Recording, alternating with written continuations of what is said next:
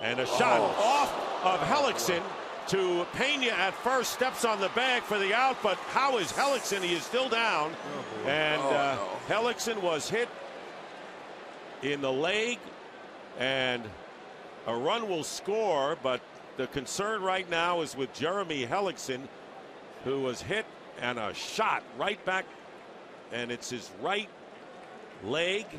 Right just came off the DL today. Oh my gosh! Uh, you, you hope uh, that the ball hit him below the knee. Looked like it hit him in the shin, but it's hit so hard and hitting him flush, drifting over toward Pena. Pena wanted to go to second base and then decided to take the sure out at, at first base. Evan, what's your view of this? This is nasty. It's below his knee, mm. but that ball was hit really hard. We got one other guy already on the DL with the same thing, Niemann. Mm-hmm. the hits just keep coming. Mm. Yeah, this is a you know your club has been really a snake bit with you know injury leading with yourself, and yet you look at where you are right now, and uh, you know people get healthy and get back. You got a great shot. We do. I mean, you know that's uh, that's what we got. It looks like he's going to stay in, or give it a try at least. Yeah, you know, I mean, you know, Evan, I have talked. I have talked to you uh, about uh, a lot of the players uh, a generation ago, and one guy that I've talked to you about is Bob Gibson.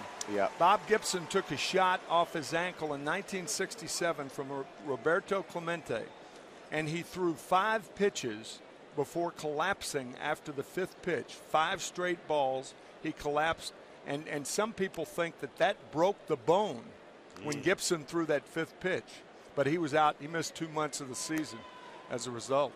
Yeah, I mean, uh, you know, the amazing thing, uh, Niemann, to for him to complete that play um, when he got hit off the ankle um, was pretty incredible too. I mean, considering the uh, the type of fracture that he had, I mean, it wasn't, uh, you know, it was a pretty pretty bad fracture. Uh, so for him to be able to get up and, and make the play, um, you know, you, you expect a guy that's 300 pounds, you know, seven foot, 300 pounds to, to kind of just collapse under that weight. So it's uh, shows some some big big guts from him. And Evan, we were talking about your club and how. Uh, you know, when you get back uh, yourself and Joyce and some of those other, you know, you got back three pitchers today, how, how, how good that will be in yeah. a race in which uh, no one seems to be on ready to run away with anything.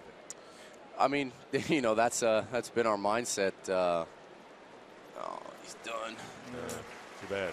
Just hit him uh, too flush, I guess, Evan. Yeah, I mean, that ball was hit. That ball was hit really hard.